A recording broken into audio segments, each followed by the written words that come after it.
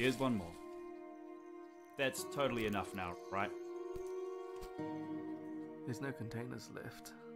Yeah, let's get back to the lab.